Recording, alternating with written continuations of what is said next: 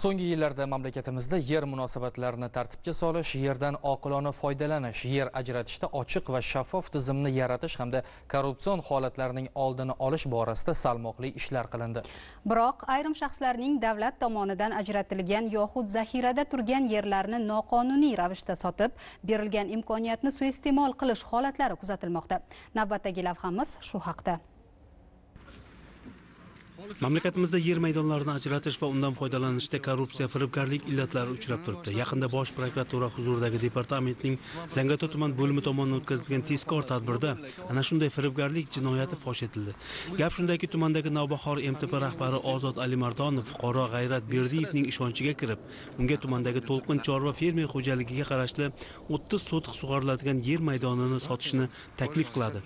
Evaziga undan 27700 aqsh dollari talab qiladi. G'ayrat berdiyev alimardonov bilan uchrashib ajratiladigan yerni rasmiylashtirib berishga kelishib oladi ammo buning uchun oldindan 10300 aqsh dollarini talab qilib uchrashuv joyini belgilaydi.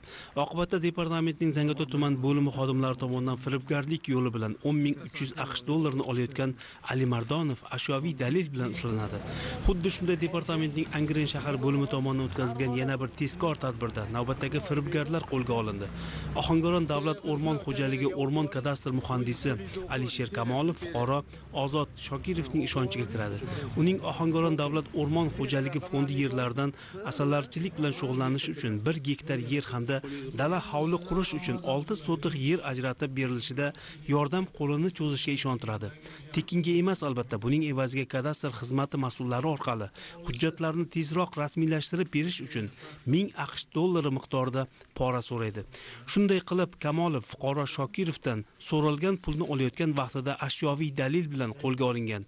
Hozirda yuqoridagi holatlar yuzasidan qonunbuzarlarga nisbatan o'zbekiston respublikasi jinoyat kodeksining tegishli moddalari bilan jinoyat ishlari qo'zg'atilgan.